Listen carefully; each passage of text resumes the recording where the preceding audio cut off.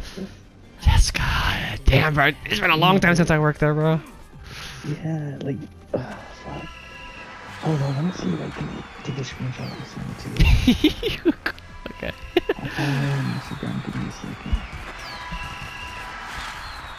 Fucking Scorpios hoops, man. Dude, it's fucking loud as shit, bro.